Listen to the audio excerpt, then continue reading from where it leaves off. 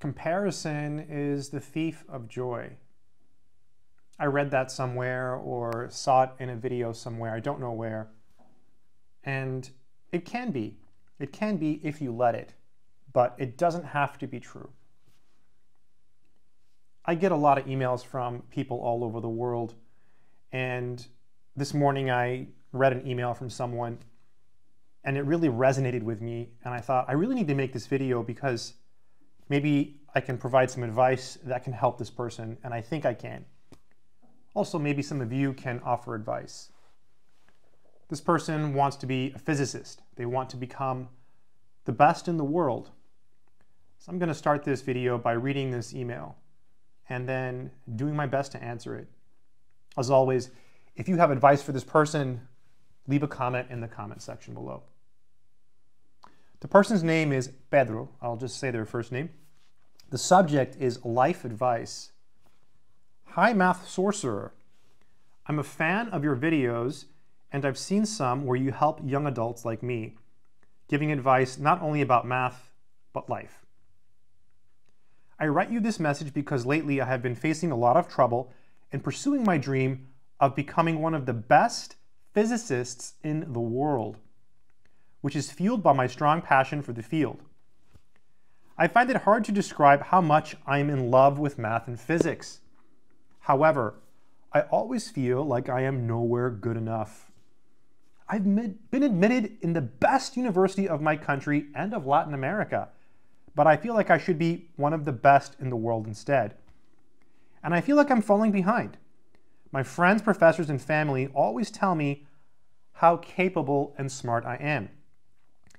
And I have even conquered a gold medal in the National Physics Olympiad before. Wow. I always try my best to better myself every single day, but I still can't feel like I'm good enough. Because everywhere I look, I can always find someone better than me. I won't deny that I do have some skill in math and physics, but it feels like my dream is very far away.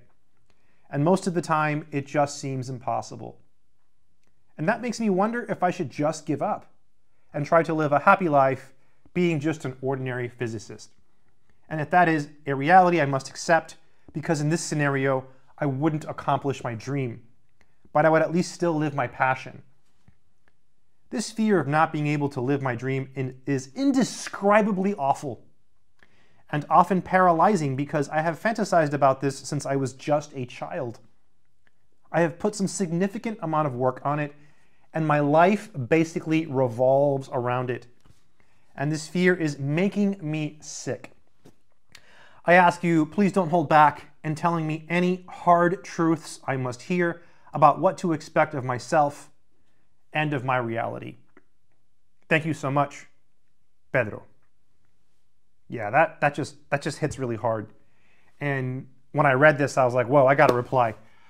So I have a couple things to say. So first of all, I think it's okay.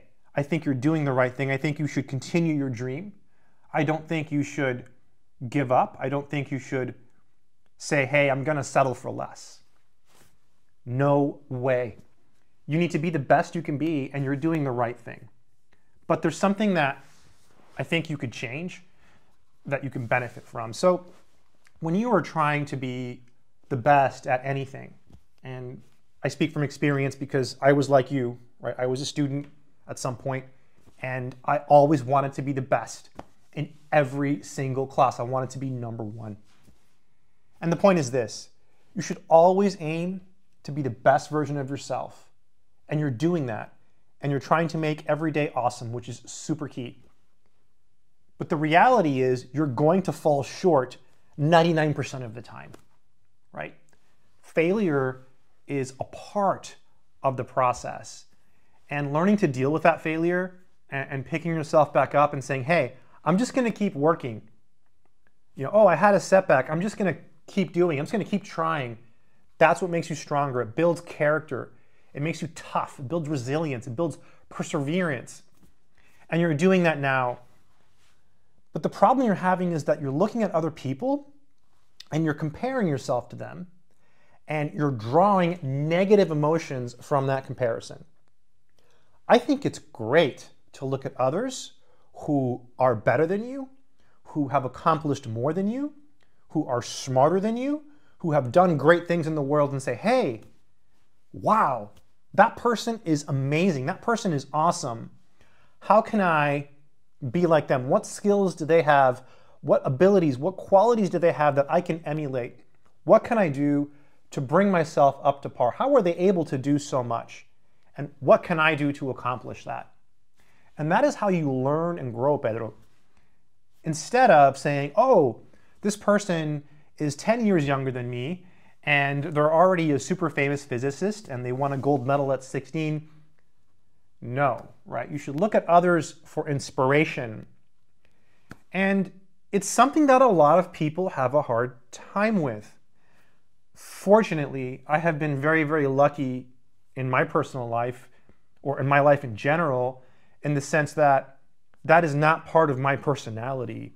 Right? I don't I don't look at others who are better than me and feel bad. As a concrete example, I make a ton of YouTube videos, right? I'm a YouTuber. I have, I have three channels. And so there's a lot of YouTubers out there that are a hundred times better than me. They have great videos and they're incredible. There's YouTubers that have 50 videos and they are super popular.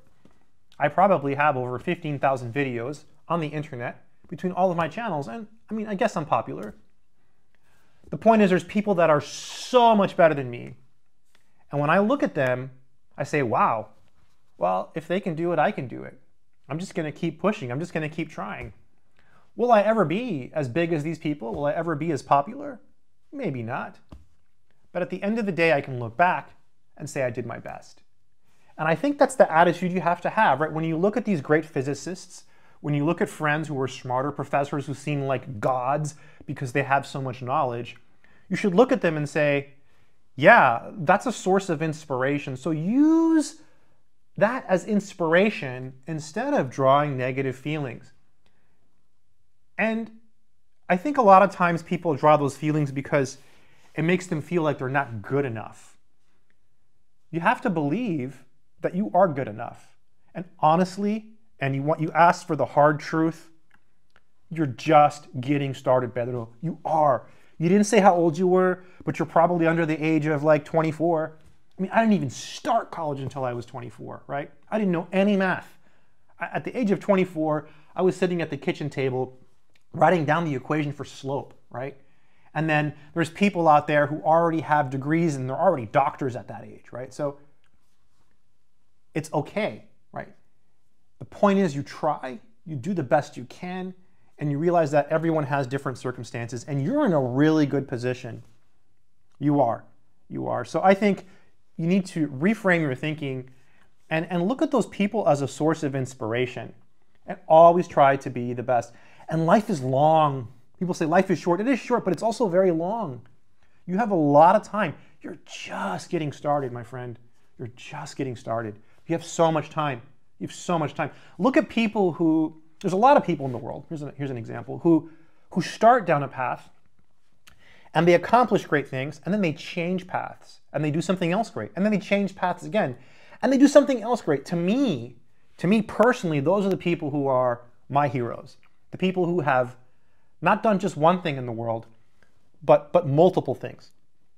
As a concrete example, uh, there was a man, he, he passed away, and I always think it's an interesting story, so, so I'll share it. And I, I tried to interview him, by the way, but um, he was not available at the time. I think he was, he was ill, perhaps. And then a few weeks later, he, he passed away. His name was James Simons, and he was a mathematician. He was a, a, a famous, well-known mathematician. He was the chair of the math department at a major university. I believe it was uh, the State University of New York, I believe. He was the chair of the math department there. And here's the kicker. He quit his job. Who does that? Who leaves who leaves a really high position like that? Well, he did. Because him and his friend were, were trading stocks using newspaper tips. But he wanted to take it further. So he formed this company called Renaissance Technologies, which is one of the biggest hedge funds in the world today. And they used mathematics to trade stocks, and they were extremely successful. So, you know, you go from a person who was an academic, who was top of the field, Very smart man. I've seen interviews, interviews with him. You should, you should look him up after this video. James Simons. He's got a great talk that he gave at MIT. It's chilling. It's epic. He quits his job and he does takes a huge risk, does something else, and then does something else great. You know, there, there's lots of people like that. Or Richard Garfield. I don't know much about him, but you know, he's a mathematician. He was a mathematician and he created Magic the Gathering, right? That's incredible. What an incredible game. I love Magic. I used to play all the time. So, you know, you have these people who do great things in one field and go to another. To me, those are my heroes. And so, do the best you can, right? Do the best you can. And at the end of the day, you can look back and you can say, hey, I did the best I can. And you're already killing it, my friend. You are. You are. You're already working hard. You've already succeeded. Yeah. You're just getting started. So, again, look at others who are better than you and look at them for inspiration. Look at them for motivation. I think that's the best way to do it. And I, I do think that a lot of this is because people are different, right? Not everyone is wired the same way. Everyone has different strengths and weaknesses. I have weaknesses, you have weaknesses. Everyone's different. So try to work through this one. And again, comparison can be the thief of joy if you let it. And it is in your case, so stop letting it. Look at others for inspiration. Do the best you can and know that deep down inside, you can do great things given enough time and effort because you can, right? You can. You might not have the natural raw talent that some of these people have, but there's one thing you can control, and that's your work ethic and how much work you put in, your actions. And you're already doing it, you're already crushing it, so keep doing it. So maybe take a step back and say, hey, it's gonna be all right. I've got plenty of time, my life is just getting started, and you're already doing awesome. So that's my advice. I, I hope it's been helpful. And if anyone else watching this video has any advice for Pedro, you know, leave a comment. It, it's a tough place to be in. You know, I know a lot of times I make videos uh, and, and the comments come from people who are struggling with math. Here we have a person who is very, very good at mathematics and physics. This person won, won, won a, a gold medal in a national physics Olympiad. I mean, this person is incredibly smart. But it doesn't matter what level you're at, right? Whether you're just starting algebra or whether you're at the top. Human beings all have struggles. We all have struggles. Keep that in mind, right? When you walk around in the world and you look at people who are much better than you in their fields, realize that they're just people, right? They're just people.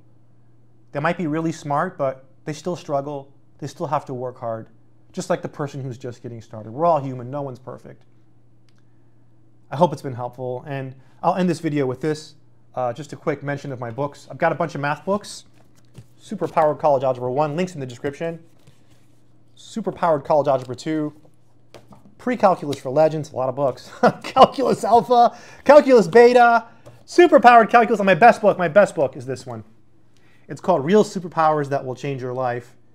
And these are all on Amazon. Links are in the description. But this is the one, Pedro, that can help you the most out of all my books. Because you already know math. You're not going to benefit uh, from my other books. They're for beginners. This book will help you. It's all about taking action, which you seem to be really good at. But it does have some other insights that perhaps can help you think about life a little bit differently. Don't let comparison be the thief of joy. You know, people always say, "Oh, you shouldn't compare yourself to others." If it's causing you negative feelings, I guess you shouldn't, but I personally think it's good to compare yourself to others and draw inspiration from that. I, I think it's a good thing. That's what I do. I have all kinds of people I look up to in the world. You know, there's all kinds of people in the world who have done incredible things, people who are still alive today who have done incredible things. And I honestly think that I think that people don't acknowledge how great they are. And I think 100 years from now, people will look back at some of the people in the world today and they're going to be in the history books. They'll be like, oh, yeah, you'll, you'll look back when you're 80 and say, oh, I remember that person. Yeah. Do the best you can and keep grinding, my friend. Stay strong.